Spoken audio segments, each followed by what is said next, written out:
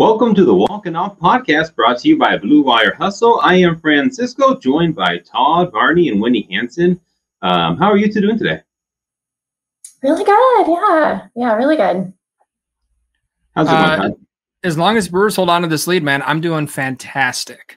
Was that, nine in a row if they win? Yes, sir. That's and amazing. nine or I think that's like 11 out of their last 12. Yeah. Yeah, they've been hot.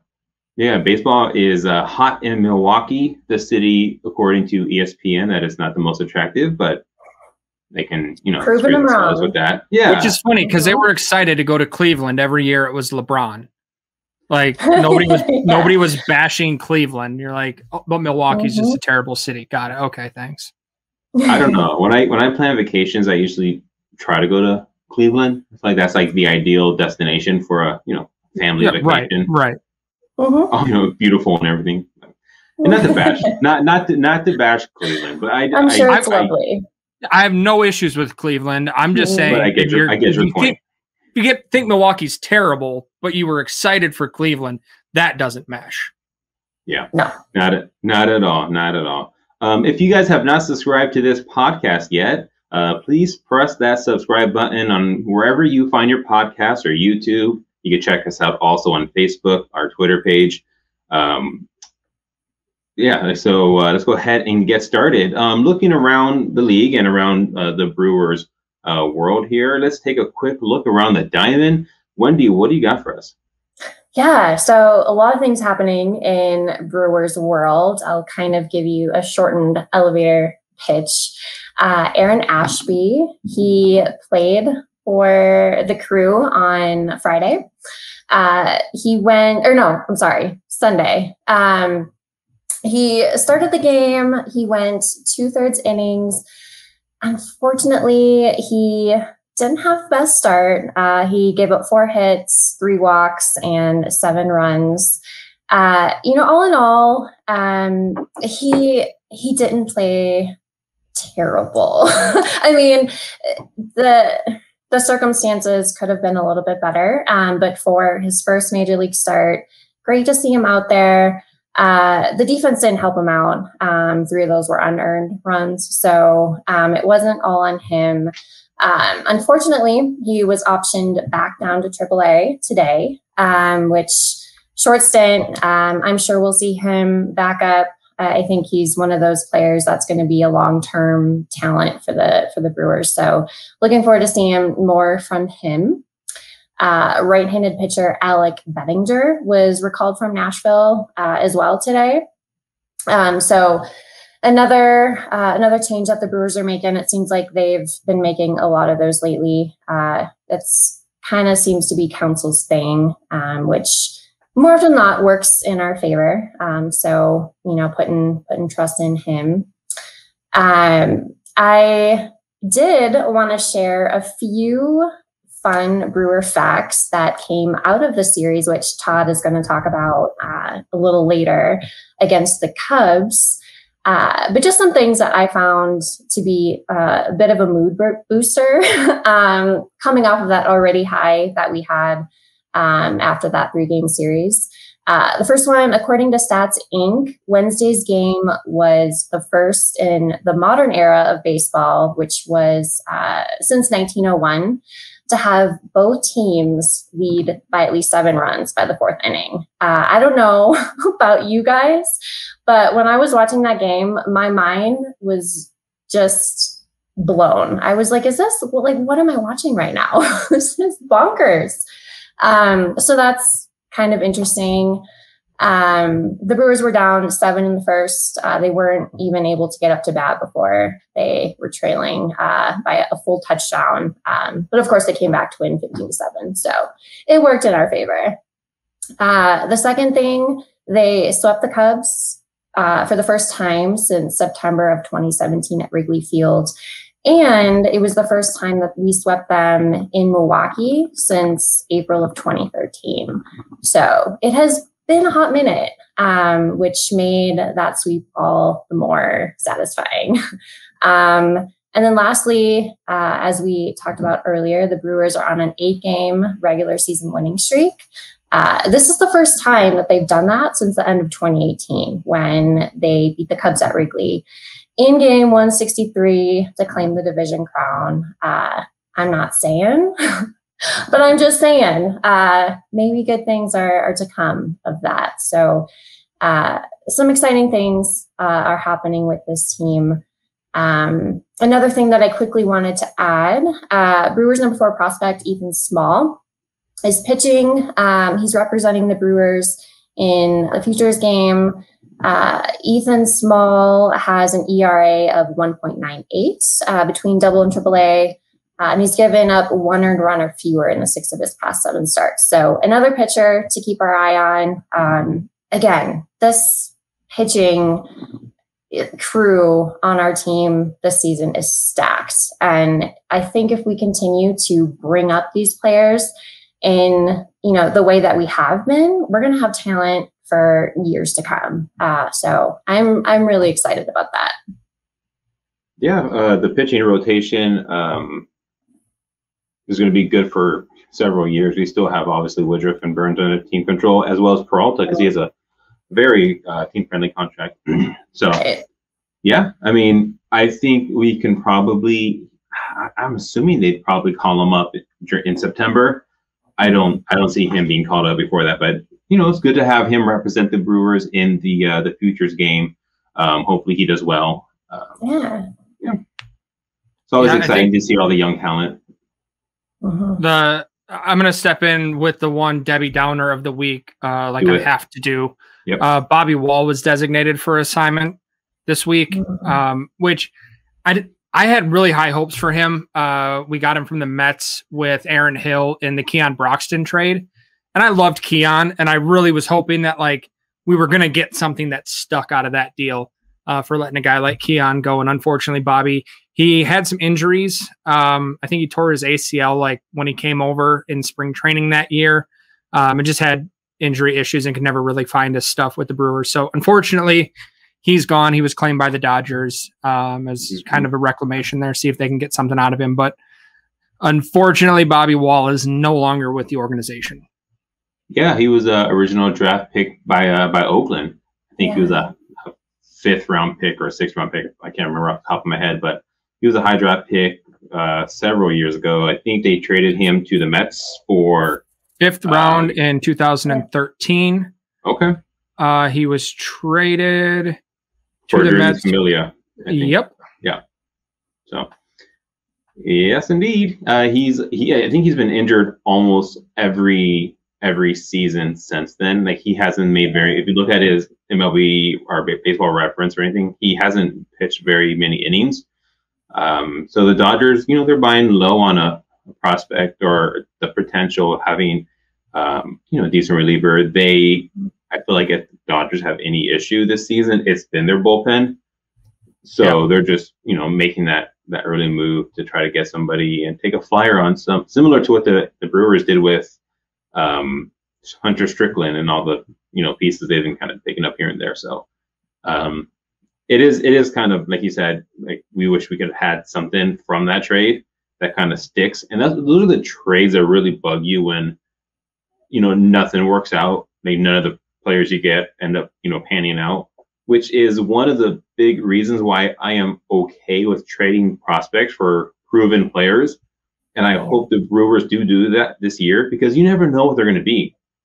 Like we have the Aaron Ashbys and the the uh, Ethan Smalls of the world coming up and pitching for us eventually, but we don't know if they're going to pan out, right? So um, their their potential is what is worth more right now than what we have, you know, what they can do for us. So you know, maybe they stick it with us, and we, you know, can obviously use them. But if we can use those pieces like that to trade for a proven bat, because you know we have a window right now, and I feel like you can never really be too scared of making moves. And like, that's what I love about this team. Like they make moves and sometimes they bite them, right? But, uh, you know, they're always, that doesn't stop them from making more moves. So I think that's cool. I, uh, I guess we'll see what kind of happens, you know, in the next couple weeks heading into the, uh, all-star break as well as the, the trade deadline, which is coming faster than I, uh, I thought it. Yeah, it's right around the corner. Um, so this won't be breaking news to anybody by the time they listen to it. Corbin Burnes just left the game with an uh, an injury in the eighth inning. Couldn't see what it was, but he did not look happy. Um, doesn't look like he's limping or anything. So, not sure what happened there. Hopefully, it's nothing major. Um, oh God! But we'll we'll stay tuned to see how that is. Yeah, I'm trying to look right now, um, see if I see any breaking news or anything. But um, oh, yeah, Adam McCalvy just yeah, Adam McCalvy just tweeted that the athletic trainer is out to visit Corbin Burnes, um, and he is coming out in the eighth inning. So, um, you know, just kind of keep your, you know, send him good thoughts and well wishes, and hopefully nothing, nothing major, and hopefully just precautionary, mm-hmm. uh, because that's yeah. that's the last thing the Brewers need right now is to lose a starting pitcher, especially one of his caliber. I think they could, for a small time, kind of withstand that, but I don't, I don't want to risk that at all right now. So. Right. Yeah. Definitely not. Good thoughts his way for sure. But uh, like you said, we, the Brewers are winning. We, you know, we've been streaking. Um, we had a good series against the Cubs.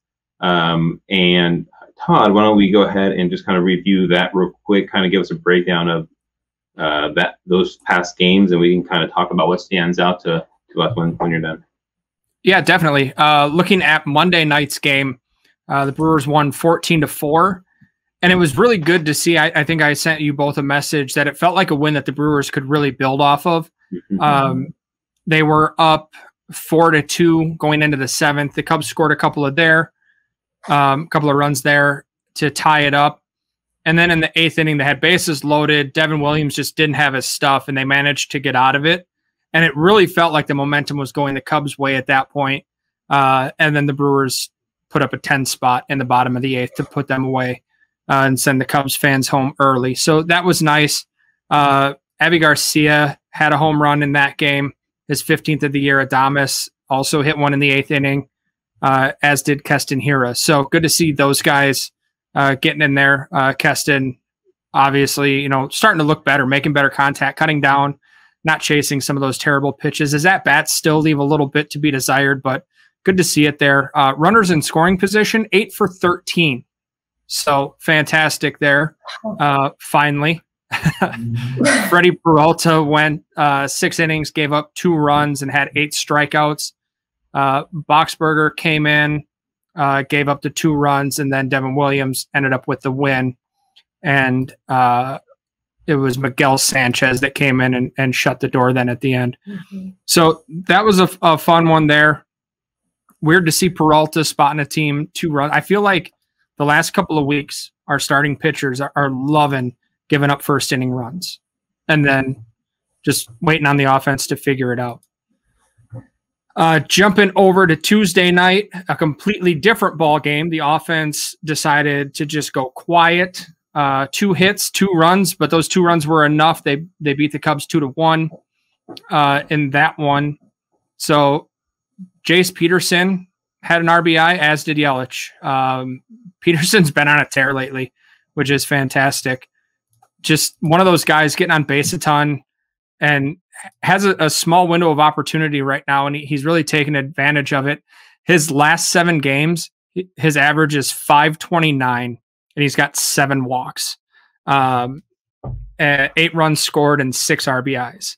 Like on base chase yeah, we we we every we all knew that you know Jace was going to be the guy that that held this team together through a win streak this year. Um, we all had that on our bingo cards, I'm sure. So yeah, good to see him out there. Uh, Woody uh, came out through six strong innings, gave up one earned run, had eight strikeouts. Good to see that. Suter, Cousins, Boxberger, and Hader all came in and uh, shut the Cubs down. So nice to see the bullpen come in and do that which then they also did yesterday, um, Wednesday, against the Cubs after Ashby went two thirds of an inning, gave up uh, four earned runs, seven runs total. Did not look good at all. Uh, but then Sanchez uh, threw two and a third. Richards came in and threw two innings. Strickland threw two innings. Cousins and Suter threw an inning each. Uh, none of them giving up any runs, which was fantastic. uh, to see there as the Brewers came back from that 7 0 deficit that Wendy was talking about before to win 15 to 7. Uh, Urias hit a couple of bombs. Adames hit the, the Brewers' first Grand Slam of the year, which was nice to be on the other side of a Grand Slam for once. I feel like this team's yeah. given up so many this year. I think it's like five or six. Uh, so to be on the other side of that is is definitely nice. Um, RBI Adames had the four. Jackie Bradley Jr. had had one. Uh, Jace Peterson had three, and, and Urias had four. So nice to see those guys um, getting it going. Just a couple of guys to touch on here too. Keston Hiura, um, like I mentioned, his last seven games, definitely a, a, completely different guy at the plate, hitting 333 with three home runs, 11 RBIs. Uh, still has nine strikeouts in 24 at bats, but Keston's going to strike out that, you know, 30 ish percent of the time. So at least when he's not striking out, he's finally making decent contact um, and looks to have something going there. And I think one other person to talk about is Jackie Bradley Jr. over his last seven games, uh, average up to 300 in those during that stretch, uh, four RBIs, a couple of walks. So good to see him starting to hopefully build something. Um, because he's he was looking awfully bad for a while. I mean, to be batting, you know, 300 over your last seven games, he's still at 167. So yeah. Tough, tough to see that, but I think he's starting to get in that groove. You know, uh, Lorenzo Cain's been out for a while, so he's been getting those consistent at bats. Um, and and that's a lot of times what these guys need, especially somebody like Jackie Bradley, who was playing. You know, he was the everyday guy in Boston, and they need that routine to kind of build off. And I think that, that that's what we're seeing here um, is is a product of him being able to be in that routine and be comfortable. So hopefully um, he can build some confidence and be able to move around again when LoCain comes back. I feel like they have been able to score late in games lately, which is amazing to see. Um, and I feel like they kind of have that attitude of, you know, they don't quit, they don't really give up. I think earlier in the season we kind of saw several games. I think the Reds the Reds series kind of comes to my mind when they were down all of those games, and each of those games they kind of made a push, but they never really got that last run or that big hit with runners in scoring position to kind of push them over the edge to get that win. I feel like lately um, they've had that, and I I like I like what I see from this team offensively because I feel like they kind of have that mentality of they don't give up and they feel like they can win, um, and they I feel like they really believe that, and they don't just you know they're not just saying that it's like they actually believe that no matter what how down they are, they can actually come back and win. And if you look at these these games, they you know um, Monday's game it was four four you know heading into the eighth inning, and then what do we do? Uh, we scored I think what 10 runs in the last three innings. So things like that are really cool to see. Um, even the, the comeback win against the Rockies, where they were able to come back from behind. They had, I think, what three straight innings uh, with a home run and then the sacrifice from Keston Hiura. So I feel like this team has been showing a lot of fight lately. And to me, I feel like the biggest reason is, you know, obviously has been Willy Adames and what he's done. Um, if you think about um, him, and you know, we got him from Milwaukee, and all he did there was win. Um, Tampa. sorry, Tampa Bay, yes. Um, and all he did there was win 90 games his rookie season. Um, they lost, they didn't make the playoffs because of, you know, which I kind of hate when you see teams like that in all sports when there's a team that has 90 wins, they don't make it, but a team with like 83 or 84 somehow manages to win their division and gets in either way, they didn't make the playoffs. The next year, they got the wild card. They get to the ALDS. They lose to the Astros. The very next year, 2020, they're in the World Series. So all he's known has been success since he's, you know, been called up to the big leagues. And then he gets traded over to the Brewers. And the Brewers, I want to say, I have it here, trying to pull it up real quick, what what their record was before him. So they were 21 and 23 and third in the Central, four games back of first place. So now what we have a six game lead, seven game lead, or whatever it is, depending on how the Cubs the Cubs win or lose. And we have been one of the better teams record wise in all of baseball. And if you look at his, um, I can't, I don't have his stats in front of me, but but he's been hitting home runs. He's been on base. and he's been really clutch in the late innings, which kind of gets back to my point of this team really believes that they're never really out of it. And I feel like that attitude can really, really propel this team forward. And it has been.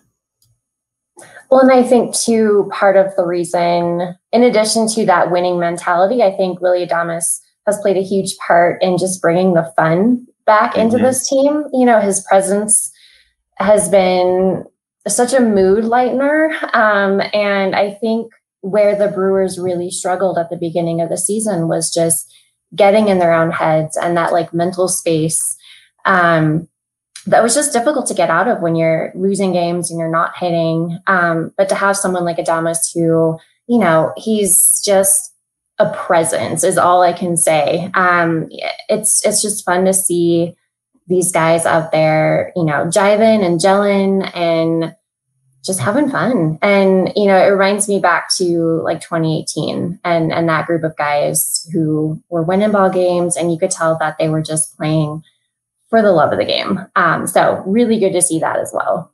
Yeah, since he came over to Milwaukee, he's batting 279, OPS of 874. Uh, he has seven home runs, 28 RBIs. Uh, so definitely has been a spark on that on that offense. Um, and I, I think we've seen a lot of guys benefit from that. And, you know, I mean, I don't think it's a, a fluke that Luis Urias is playing the way he is next to him every day. Um, so, you know, that that's a big move there. Um, and then uh, going back to the Corbin Burnes situation that we're looking at, Adam McCalvy uh, tweeted, "The lip reader in me thinks he saw Burnes say I'm fine to Craig Counsell the athletic trainers, uh, Scott Barringer and Dave Yeager, and get a pat on the shoulder from Counsell, but we'll see what the word is from the clubhouse." So that's definitely encouraging. Good news, yeah. All right. Well, I'm glad um, Burnes seems to be doing fine. We'll definitely have to keep an eye on that. Just um, again, you know, send good prayers, thoughts up to him, prayers, however you, whatever you believe. Um, and just hopefully everything is well with this team because uh, we can definitely use them. But let's go ahead and jump into uh, the triple play here. Three topics, and we'll uh, each have a topic this uh, this uh, episode. Wendy, I'll let you go first. What do you got for us? Yeah, so I'm going a little off topic, and I am going to talk about Fourth of July traditions with the holiday coming up on Sunday already. I cannot believe that it's the 4th of July already. um, but I wanted to get uh, your take on, or I guess hear from you guys on what your favorite uh, 4th of July traditions were. Uh, for me growing up, so my family has a cabin uh, up north Wisconsin. And every year we would spend the long weekend up there and um, at night on the 4th of July, we do the whole like cookout and cornhole and boating um, lake day during the day. And then at night, um, everybody would get in their pontoon boats, go into the middle of the lake, and then they would set off fireworks and you would get to watch them from the party barge. So I did that for, gosh, probably the first, I would say like 10 years or for, for, you know, 10 ish years. And it was amazing. I haven't done it in a while, sadly, but hopefully next year I'll get back up there. Yeah, that sounds like a blast. Um, I don't know. We've always just like found fireworks somewhere in the area. Um, I haven't really done anything wild for Fourth of July since I quit drinking a few years ago. So like everything before that was like, where's the party? Let's get wild and have a good time. Now I mean, when you once you've seen some fireworks, you've kind of seen them. Mm-hmm. Uh, and I and I try to avoid crowds, and I get grumpy once the sun goes down. So uh, I'm I'm usually trying to find a place to go to sleep by then. Um, but otherwise, I I will say one really cool um, thing of Fourth of July when I was in North Dakota. The only nice thing I can probably say about that state is I was living in Williston, North Dakota, and my place was up on a hill that overlooked the town and the town had fireworks that were being set off to the east and like everybody in that town because it it's oil workers it's a bunch of rednecks that have way too much money um, and nothing to do with it for the most part So they would spend like five to 10 grand on their own fireworks in their yard. And so it would be like almost a 360 degrees of just fireworks going on. I just park my truck up on the hill and watch fireworks. It was fantastic. That's awesome. But it's also one of those videos that nobody else will ever watch. Nor I don't know that I've watched them, but I remember being like, "Wow, this is really cool. I'm going to love to show that." No, no, no. I was just taking up space on my phone. Yeah, I'm not a big take picture of the fireworks kind of guy because, I mean, who, when am I ever going to go back on my phone and just be like, "Wow, those those fireworks are pretty legit"? Yeah, I, I, don't, I, don't, understand. That was the best show of my life, and I've never looked back at them. unless you're a, unless you're a photographer, like my sister's a photographer, so for every um, fourth, we would go to. So my dad worked at a hotel in uh, right near San Francisco, so it was like right before the bridge so we would he would always let us to the top floor.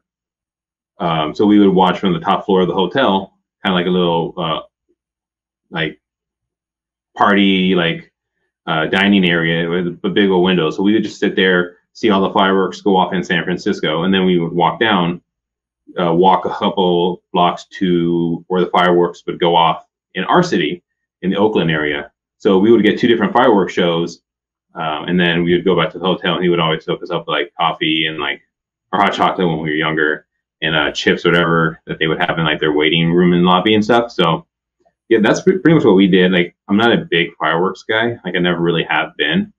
So like we would mostly go for my sisters. Like said, like I said, my sister takes pictures and stuff. So yeah, other than that, like I never really got super into Fourth of July.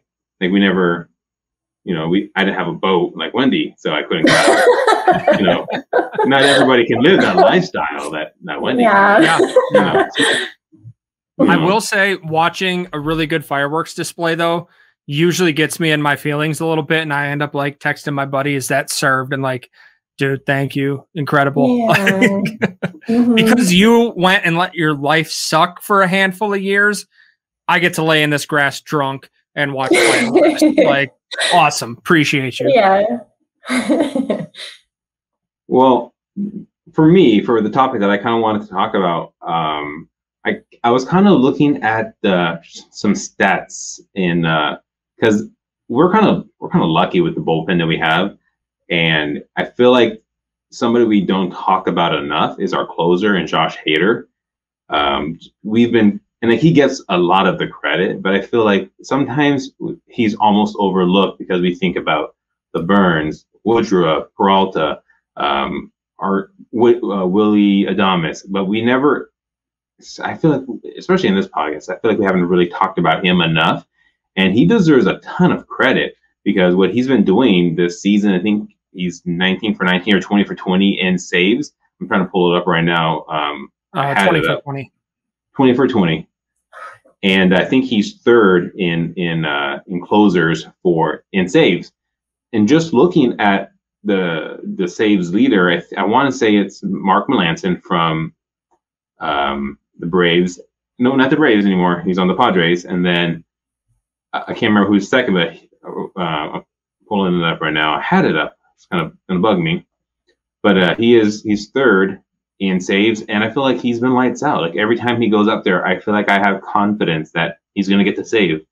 Um, I feel like he's really adapted to this only one inning kind of role that he's been put in. Because before the season, he would go multiple innings, and I feel like he still can. And I think once we get closer to the playoffs, and if we're making that push, I don't think we would. I don't think it's you know it'd be strange to see him do an inning or two, especially in the playoffs.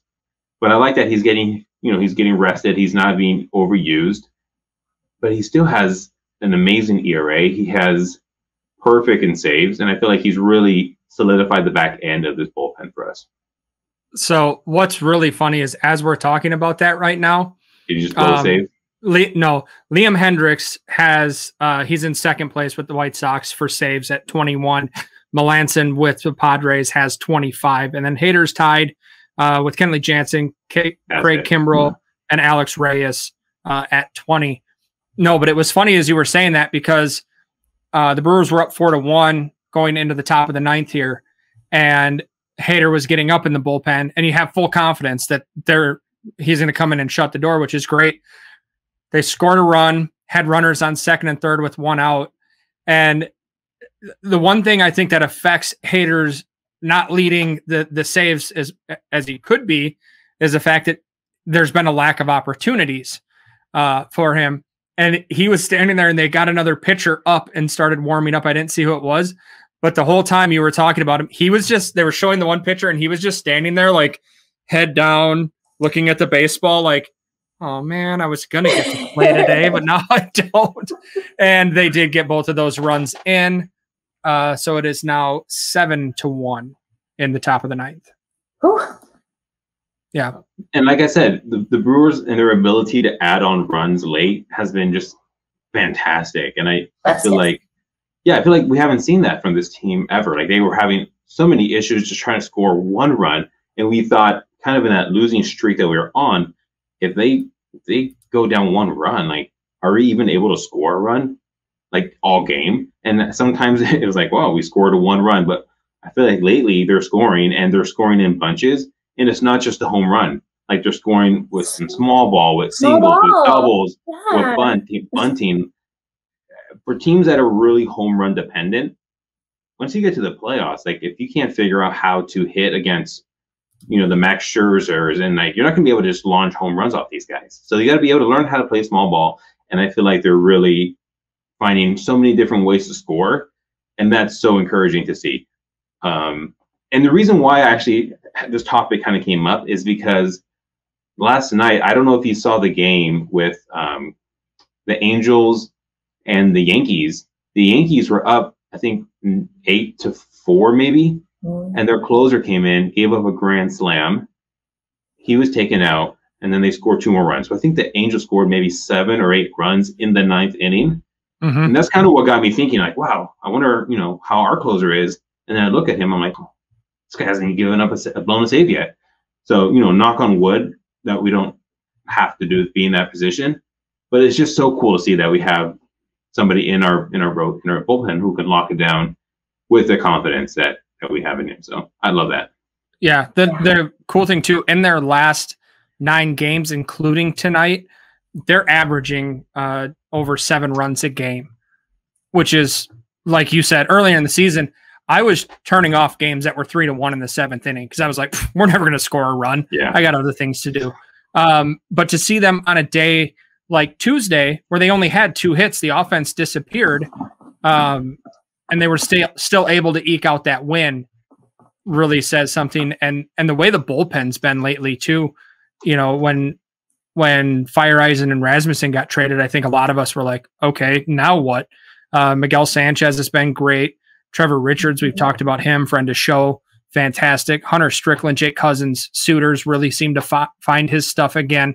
Um, in that Cubs series, I believe the run differential for the bullpens, the Cubs bullpen gave up 19 runs in those three games. The Brewers gave up two.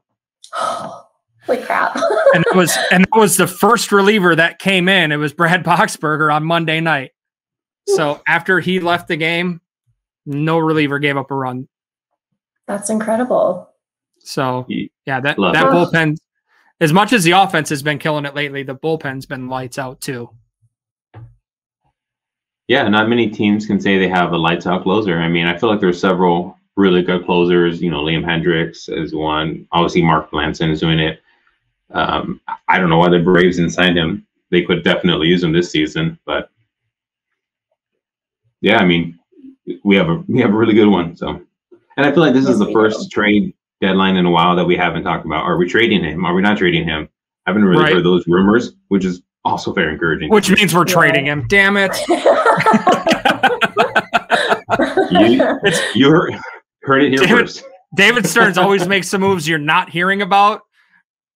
Hader, it's been wonderful. Uh, best of luck, whatever American League team you get traded to. the Yankees. Yeah. Uh, Shut your mouth. Uh, no. What about how how you how do you feel about your Yankees? Uh, you know they'll they'll, they'll bounce back. Not really.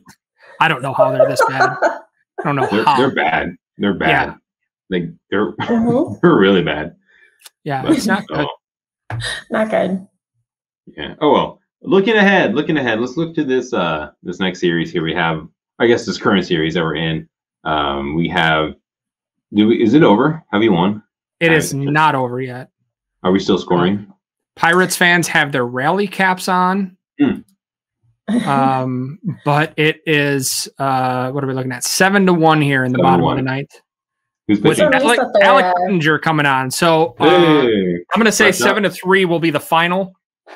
I, I can see that. Yeah. Yeah. I will say this, um, like you said, our bullpen's been so well. They're doing pitching so well. Our bullpen has been. Like, I mean, I, I still think we need to add at least one more bullpen arm, but it's the whole team, like all facets of the game. Like we've been hitting well, we've been pitching well. The bullpen is good. Our defense has been solid. There, I've I don't feel like we really have. Um, if we can keep playing like we are doing right now, I don't really feel like this team has a, a weakness. I feel like this this team is pretty pretty well, you know, throughout the lineup. And there's some teams I feel like if you look at like the Angels, right, they have like two or three really really uh, big name players, but they they're still under 500 or whatever, and they're not going to make the playoffs. Mm-hmm. I feel like this team is kind of made up of all the parts, and everyone kind of has their role mm-hmm. and like everyone kind of knows what they're supposed to do. Like we don't have, we have obviously a reigning MVP, um, and, and Willy Adames is like if I feel like he was with us from the beginning, he'd probably be an all star. But I mean, other than that, like you know, we don't have these big household names, which is obviously reflected in kind of how we don't really have any all stars. But I just feel like the sum of the parts just makes this wonderful piece that is this Brewers team and that's so cool to see because I don't right now the way they're playing. If they can keep this up, there's not there's no weakness in this team. The, the bullpen's good, so yeah, yeah. Agreed. I mean, if, go ahead, Wendy. Oh, I was I was just gonna say that in the beginning of the season, it seemed like it was very janky. Like there were, you know, like Francisco, you were saying, there were pieces that were playing well. They just weren't gelling together and creating that cohesiveness. Um, and now it's it seems like it's a well-oiled machine. And yeah, absolutely. If they can continue playing like they are right now, October, baby. yeah, I mean, uh, the last week, our worst offensive player is probably Christian Yelich, uh, hitting 192. yeah, 192. On base percentage is 382, so it, he is getting his walks there. Um, still striking out quite a bit, but you know, for for Christian, it'll it'll come around. It, it's going to be there eventually. Um, and I think that having guys like Keston Hiura starting to hit the ball, uh, Narvaez is staying hot, Arcia's coming around. You know, you look at this lineup once uh, Kolten Wong comes back and and Lorenzo Cain's in there. Um, you know, him and Jackie Bradley Jr. They're probably switching off in the eight spot. So then you're looking at Kolten Wong leading off, Willy Adames to Christian Yelich, to Garcia or Hiura. Narvaez in there, Urias. Um, you know, it's it it can go pretty deep with these guys because you're still going to have, you know, a, a, Travis Shaw coming back at the end of the year, uh, mm-hmm. who will mm-hmm. be, you know, an all right left-handed bat off the bench. He's going to get put in there in those situations for him to succeed against righties. So it'll it'll be interesting to to see these guys, you know, if they can keep rolling like they have been. Can we talk real quick before we look into next series about Keston no, Hiura? I don't want to talk. let's let's let's real quick. Let, us talk about Keston Hiura. I want to give him a little bit of love here because, um, and we'll we'll jump into just real quick. But we had talked, uh, Wendy and I, last week uh, when he was you know called up. That we we had I was kind of noting that when you get called down, sent down, and called up, and sent down and called up, it can kind of mess with your the mental side of, of things. Um, and you never know how it would affect him to say if he didn't perform and if he wasn't playing well. Equally, if he gets sent down again, how would you know how will he respond to that? He has proved shown us that he I don't know if it's gonna stick, but so far, like he has looked like a completely different player. Um, I would say like he strikes out still, but some of his at bats have been more competitive, I guess. He's yep. not just swinging. Like there are some pitches that like I thought, oh, okay, he's gonna swing. Didn't swing. You know, he's been taking a couple more walks now, and I feel like he, you know, he's his at bats just seem to be so much different than when he had first came up. So mm-hmm. I feel like you know he's he's playing really well in his last um, seven games. Average is 320, uh, three home runs, 11 RBI. So he is doing slugging 720. So like if he can yeah, his, his up, OPS is at 1120. Like okay, all right, fantastic. Yeah. Mm-hmm. Just stay so, there, Keston. It's not that hard. He said it when he came in to the when he first got drafted. Hitting's easy. Keston, it's e- what you're doing is easy, man. Keep it up. Mm-hmm. Yeah. So I mean, if he can just keep that up, it's it's so good to see um, because he's been doing well. All our you know Jace Peterson on base machine. It's just it's, it's great to see. So good for Keston. I'm glad that he's hitting well. Hopefully he can keep that up. Batting 320, uh, on base percentage 400, slugging 720, high. You know, it's been great. So um, even if he regresses a little bit, just having his at bat back in the lineup completely changes this team's dynamic. So mm-hmm. really cool, really cool to see. Uh, moving on though, just another one of those Jackie Bradley stat lines though, where the last four games, uh, he's hitting 320. Still on the season, he's at 163. like that's how bad it was before. Oh gosh, yeah. Yeah. All right, so next, so next, uh, next series, next game, we have Houser versus I don't even know how to pronounce this last name, Brubaker, Brubaker, Brubaker, Bruh. Brubaker. Bruh. Bruh. Bruh. Bruh. Bruh. Houser and Bruh. They're pitching tomorrow. Houser's four and five, four sixteen ERA. Bruh is four and seven, three eight two ERA. Um, so it's gonna be a good matchup. I don't, I never really know what to expect when Houser's pitching. Um, you know, he's been off and on. Um, yeah, I, I mean, I, I get Houser, Lauer. I don't really know what to expect. I'm hoping they do well um, because uh, we definitely. I would love to see this one streak keep rolling, and we have uh, trying to pull up these real quick as I'm looking.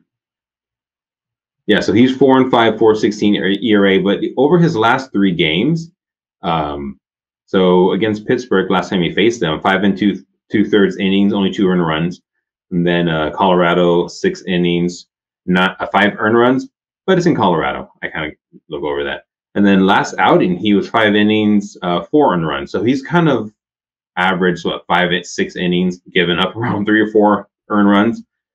Um, but if we can get what he took, what he did against Pittsburgh last last time he faced them, five and two thirds, two earned runs, I'll take that any day. Yeah, absolutely.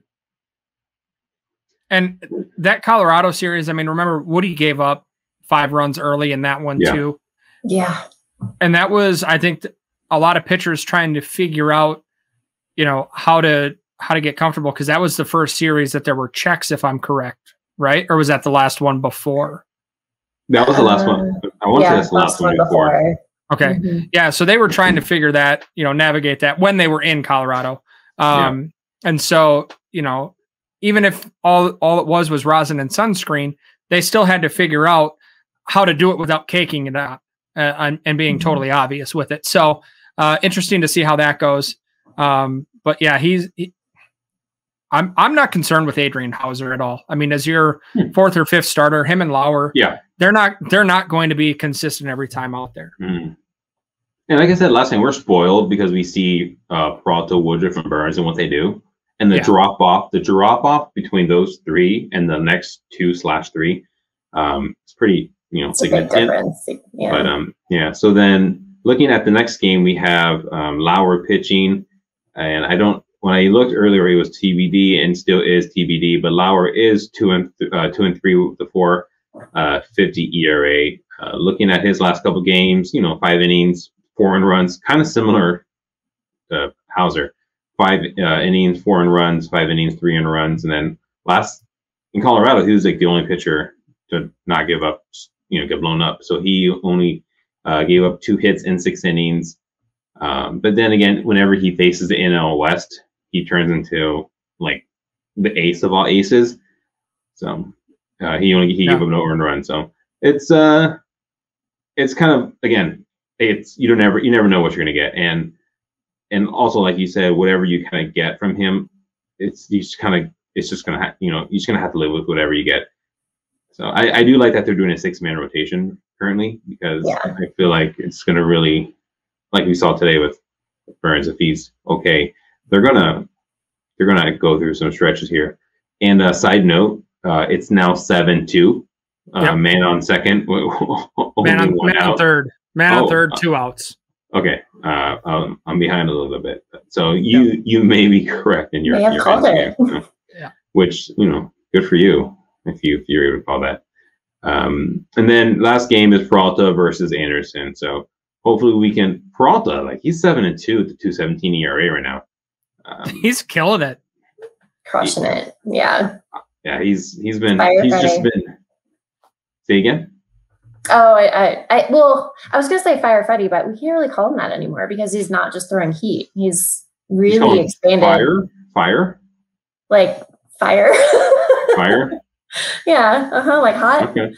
Oh, caliente. Caliente. As they, as yeah. they say in, in my mm-hmm. country. Yeah. The win streak is at nine. All right, Ooh. awesome. Glad to see that. There you go. Hopefully, seven to two. I was wrong. I was wrong.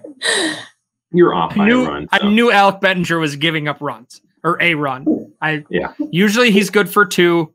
Tonight he surprised me and only gave up one, so we'll take it. You got you got to take what you get.